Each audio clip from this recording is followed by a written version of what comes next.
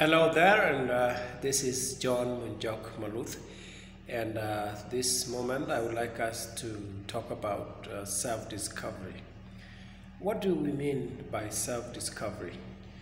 Well, self discovery is not self improvement because we need to discover who we are before we improve ourselves. Self discovery is not even career discovery because a career is what you have or what you are able to do. Um, there are three things like abilities, possessions, identity. All these may identify me, but when we talk of self discovery, mostly we focus on our identity. I mean, what is it that identifies you among the crowd or in the crowd of people? What makes you different? What makes you the only you? Okay, so my title is not me, it's what I do. I like how Dr. Neil, Neil T. Anderson puts it. He says, You may call me Neil Anderson.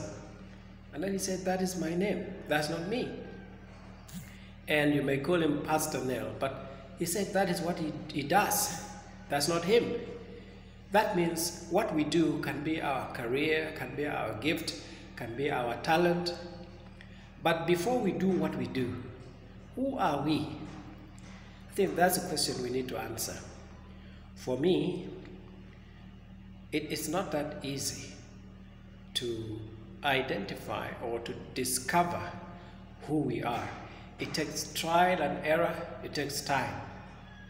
And over the years, I'm so confident that I've found out who I am as God intended it to be. And I think one of the, the clues for us to know who we are is it's not even what we wish or what we want to be in the future. You know, you are already who you are naturally. It's not because of your education, it's not because of your, um, you know, um, what you learn from other people or your experiences. No, I think that these uh, trends of talks uh, uh, by uh, most of the psychologists. They talk about nature and nurture. Nature is what defines us. It doesn't matter where we were born from.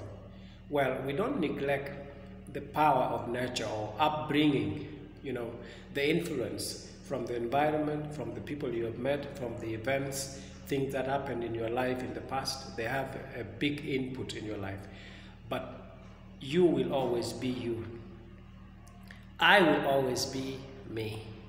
It doesn't matter where I live, it doesn't matter what happened to me, you know, and that is when when you come to that level of identifying what makes you different from other people, you have discovered who you are.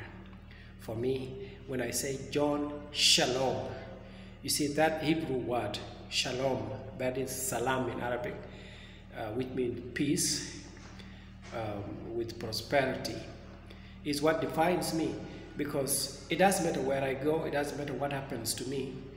I find myself seeking peace all the time, and that's my identity.